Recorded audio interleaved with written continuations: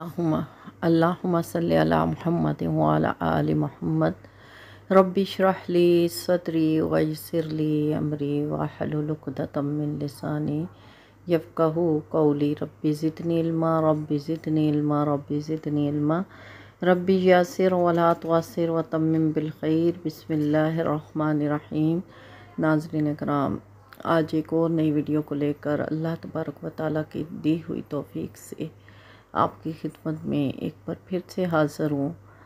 अल्हम्दुलिल्लाह, हमने सीरतुलनबी सल्लल्लाहु अलैहि वसल्लम का सिलसिला शुरू किया हुआ है और इस सिलसिले में अल्हम्दुलिल्लाह सात वीडियो हम पहले पेश कर चुके हैं, जिसमें हमने मुख्तलिफ़ मौजूद को अल्हम्दुलिल्लाह अल्लाह की तौफीक से डिस्कस किया और आज का हमारा जो मौजू है, ये भी बहुत ही खूबसूरत मौजू है। इस मौजू का अनवान है दरबार नबूवत के शरा आप सब बहन भाइयों से ये उम्मीद करती हूँ कि इन सवजल आपको पहले मौजुओं की तरह ये वीडियो भी पसंद आएगी। और मेरी एक दरख्वास्त वही जो हमेशा से है कि इस वीडियो को आखिर तक ज़रूर देखिएगा।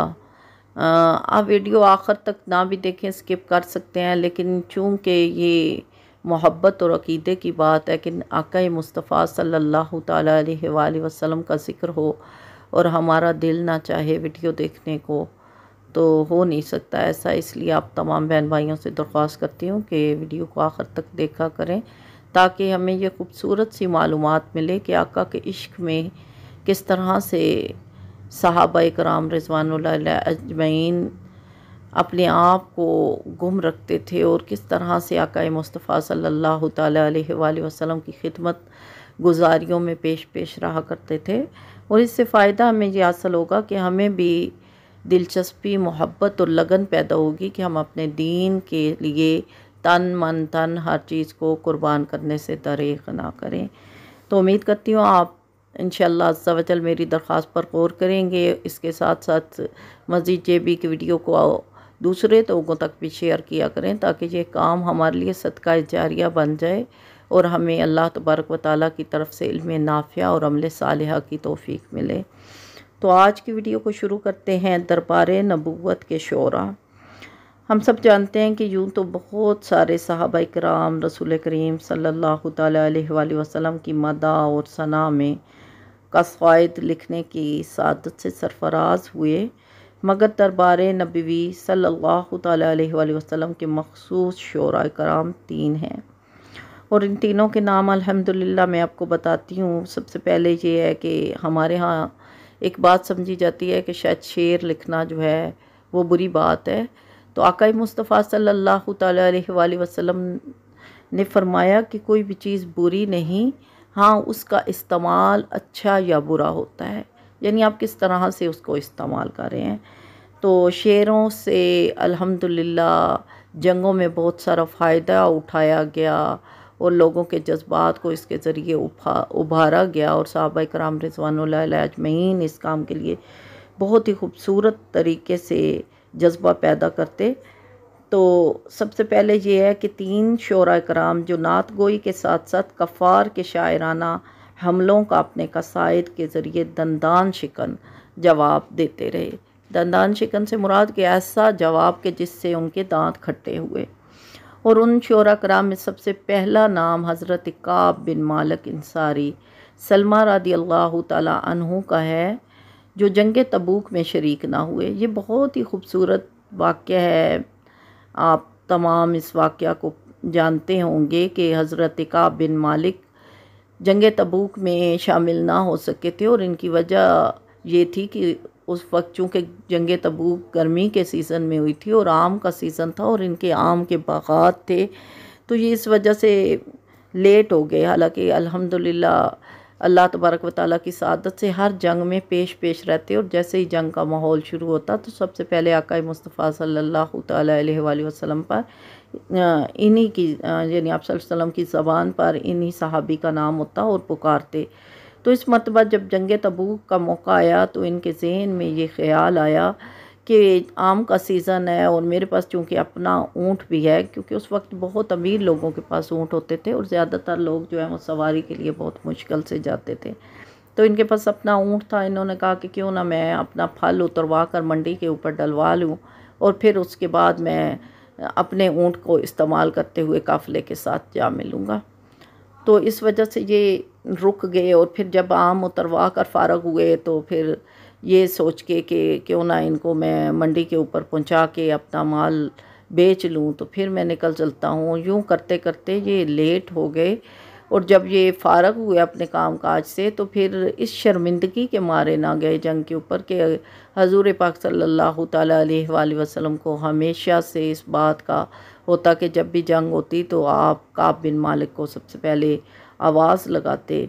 लेकिन इन्होंने ये सोचा कि अब तो हजूर पाक वसल्लम मेरा नाम ले चुके होंगे और वहाँ पर जंग भी शुरू हो चुकी होगी। तो अब जाकर शर्मिंदा होना, क्यों ना मैं हजूर पाक वसल्लम आएँगे तो उनसे माफ़ी मांग लूँ। यूँ ये सोच कर तो खामोश हो रहे, जैसे ही हजूर पाक अलैहि वसल्लम की आमद मदीना में हुई मेरी बहनों तो ये बहुत ही खूबसूरत वाक़ है। दिल को दहला देने वाला भी और ईमान को ताज़ा कर देने वाला भी कि जज्बा, मोहब्बत किसे कहते हैं और इस्लाम जो है वो किस जज्बे के तहत फैलाया गया और किस तरह सच्चाई जो है वो इंसान को मरातब से नवाजती है। तो काब बिन मालिक हजूर पाक की खिदमत में पेश हुए सब साहबा कराम हजूर पाक सल्लम से मस्जिद नबवी के दरमियान सलाम दुआ करने के बाद जब चले गए तो जुरत करके आगे हुए और कहा कि, या रसूल सल्लल्लाहु अलैहि मेरा जंग में ना शामिल होना मेरे माल की वजह से हुआ। लिहाजा मैं सारा माल अल्लाह की राह में सदका करता हूँ। लेकिन हजूर पाक सल्लल्लाहु अलैहि वसल्लम ने नज़र करम ना फरमाया और फरमाया कि, मैं तुम्हारे मामले को अल्लाह के सपुर्द करता हूँ। और जब तक तुम्हारी माफ़ी का ऐलान अल्लाह तबारक व ताली की तरफ़ से मेरे तक ना पहुँचे, तब तक तमाम साहब कराम को मैं ये कहता हूँ कि कोई भी तुमसे सलाम व दुआ ना करे। इवन के बहुत सख्त इनके बारे में रद्द अमल लिया गया और फरमाया गया कि इनकी बच्चे और बीवियों को हुक्म दे दिया जाए कि इन्हें छोड़ कर चली जाएँ। और जब तक अल्लाह इनकी तोबा का ऐलान ना करे तो कोई भी इनसे रबता ना रखे।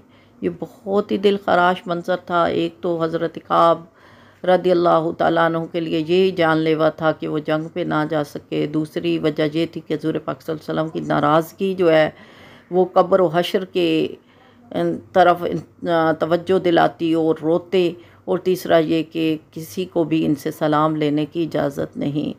और यहाँ तक पड़ा है कि जब हज़रत काब बिन मालिक अपनी तन्हाई से घबरा गए, यानी मस्जिद में जाते नमाज़ पढ़ने के लिए और जब नमाज़ पढ़ कर फ़ारग होते तो किसी से सलाम लेने की कोशिश करते, कोई इनसे सलाम, दुआ ना करते। हालाँकि जब घर आए और बहुत ज़्यादा एक दफ़ा रोए, जब सात दिन गुज़रने के करीब थे और किसी से आप, का रबता न हुआ तो आप बहुत ज़्यादा रोए और छत पर खड़े हुए और अपने साथ दीवार के साथ ही इनके चचा ज़ाद का घर था, उसको आवाज़ लगाई। लेकिन आवाज़ ना लगाई गई। इवन के ये वास्ता दिया कि तुम्हें अल्लाह और उसके रसूल का वास्ता कि मुझसे बात करो। तो आगे से जवाब ये आया कि अल्लाह और रसूल ही का हुक्म है कि आपसे बात ना की जाए। तो वहाँ से दिल बर्दाश्ता हुए और चले और बाज़ार की तरफ़ चले तो एक काफिर आगे से मिला और उसने कहा कि तुमने तो हजूर पाक के साथ बहुत सारी वफ़ादारियाँ की हैं। तो आज क्या हुआ कि तुमसे वो इतने नाराज़ हो गए? तो तुम उनको छोड़ के हमारे दीन में शामिल हो जाओ। हालाँकि कोई और होता, अल्लाह माफ़ करे तो वो यही सोचता मेरी बहनों, लेकिन ये ईमान का दर्जा है कि हज़रत का बिन मालिक उस वक्त बहुत ज़्यादा परेशान हुए और अल्लाह तबारक व के सामने सजदे, रीज़ हुए और समंदर की तरफ़ चल पड़े और जाकर रेत अपने सर में डाली और अल्लाह के आगे गिड़गिड़ाने लगे, रेत में अपना सर घुसा के रोने लगे कि अल्लाह आज मुझ पे ये नौबत आ गई है कि आज दीन के दुश्मन मुझे कहते हैं कि तुम हमारे साथ मिल जाओ। ए अल्लाह अज्जा वजल मुझे माफ़ फरमा दे। रोते रहे और रवायात में आता है कि इस कदर रोए कि फिर जब इनकी जान कनी की हालत हुई तो अल्लाह तबारक व की तरफ़ से कुरान पाक में इनके लिए आयात नाजुल हुई और हजूर पाक वसल्लम को हुक्म दिया गया कि अल्लाह ने इनको माफ़ फरमा दिया, लिहाजा आप भी इन्हें माफ़ फरमा दें। तो ये बहुत ही खूबसूरत वाक़ है जिससे हमें ये सबक मिलता है कि ईमान कितना कीमती है, जिसे हम बहुत ही ज़्यादा आसान समझे हुए हैं। तो इसके लिए सहाबा कराम ने बहुत सारी कुर्बानियाँ दी। तो ये वो सहाबा हैं कि जिन्होंने हजूर पाक वसल्लम के शायर होने का, यानी हजूर पाक सल्लल्लाहु अलैहि की शान मुबारक में शेर लिखने की सादत हासिल की। और हज़रत काब बिन मालिक का कहना था कि हजूर पाक सल्लल्लाहु अलैहि वसल्लम ने फरमाया कि तुम लोग मशरकिन के लिए, मशरकिन के लिए शेर करो, क्योंकि मोमन अपनी जान और माल से जहाद करता है और तुम्हारे अशार गोया कफ़ार के हक़ में तीरों की मार के बराबर हैं। हज़रत अली रदी अल्लाह तु के दौर खिलाफत या हज़रत अमीर माविया की सल्तनत के दौर में आपकी वफ़ात हुई। और दूसरे साहबी हज़रत अब्दुल्ला बिन रवाह इंसारी हैं। इनके फ़ज़ाइल और मनाकबत में चंद अहदीस भी आईं और हजूर वसल्लम ने इनको सैदुलशरा का लकब दिया। ये जंग मोता में शहीद हुए। हज़रत हसान बिन साबित, ये तीसरे साहबी हैं जिन्होंने हजूर पाक सल्लल्लाहु अलैहि वसल्लम के सामने नातिया अशार पढ़ने की सआदत हासिल की। हजूर नबी करीम वसल्लम ने इनके हक़ में दुआ फरमाई और फरमाया, अल्लाहुम्मा हो बिरूहिल कुदुस। यानी, या अल्लाह, हज़रत जब्राईल के ज़रिए इनकी मदद फरमा। और इसके साथ ये भी इर्शाद फरमाया कि जब तक ये मेरी तरफ़ से कफ़ार मक्का को अपने अशार के ज़रिए जवाब देते रहते हैं, इस वक्त तक हज़रत जब्राईल इनके साथ रहा करें। 120 बरस की उम्र पाकर मेरी बहनों, इन्होंने चौवन हिजरी में वफ़ात पाई 60 बरस की उम्र ज़माना जहलीत में गुजारी और 60 बरस की उम्र खिदमत इस्लाम में फिर सर्फ की। तो ये बहुत ही खूबसूरत सहाबी हैं, जिन्हें अल्लाह तबारक व ताली ने नबी करीम वसल्लम की शान में नाते पढ़ने, लिखने और अशार कहने की तोफ़ी अता फ़रमाई। इसके बाद एक और आपकी वजाहत के लिए हजूर पाक के मुआजनीन के बारे में भी बात कर लेते हैं कि हजूर पाक की मुआजनों की तादाद क्या थी। तो इनमें हज़रत बिलाल रदी अल्लाह तु और हज़रत अब्दुल्ला बिन उम मखतूम रदी अल्लाह तु जो कि नाबीना थे, ये दोनों हजूर पाक के मुआजन रहे, जबकि मस्जिद नबवी में हजूर पाक मौजूद रहे, यानी मदीना के दौर में। और हज़रत साद बिन आयस रदी अल्लाह तु सदक के लकब से मशहूर ये मस्जिद कुबा के मुआजन रहे और हज़रत अबू महजूरा रदी अल्लाह तु ये मक्का मुकरमा की मस्जिद हराम में अजान पढ़ने की सादत हासिल करते रहे।